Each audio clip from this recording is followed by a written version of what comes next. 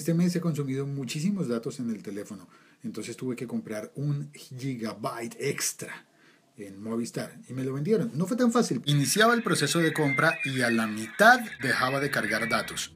Si no tengo datos, no me venden datos. Yo, Gran Movistar, te vendo datos para tu teléfono. Pero si no tienes datos, no te los puedo vender. Ya. ¿Y entonces qué hago? Pero como dice el viejo y conocido refrán, pa perro, perro y medio.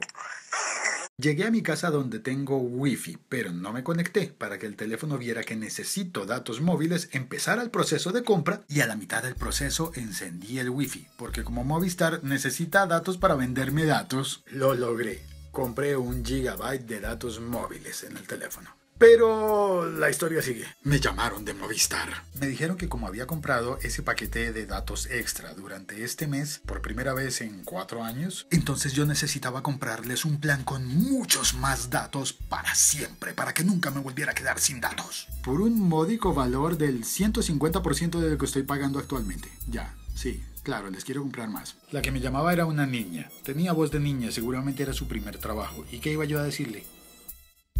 No, gracias. No, muy amable, ¿no? A pesar de que era una llamada muy molesta, me comporté como un príncipe. Bueno, princesa. Se siente uno bien de ser buena gente, pero ¿sabes qué pasó luego? Me volvieron a llamar.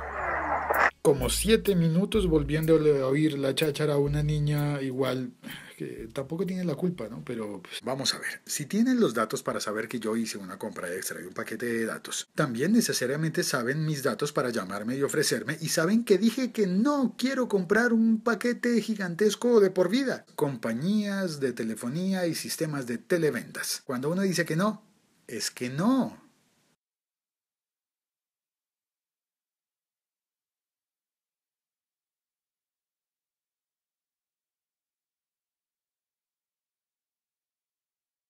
Suscríbete. Suscríbete. Suscríbete. Suscríbete, suscríbete. Bueno, está bien, ya no repito más.